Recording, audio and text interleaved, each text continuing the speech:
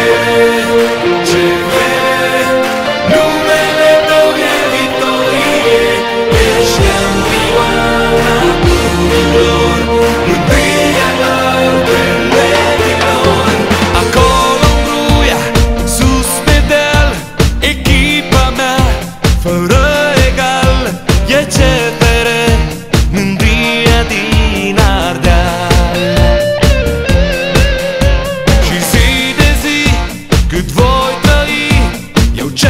meris mereu voi fi aproape de echilibru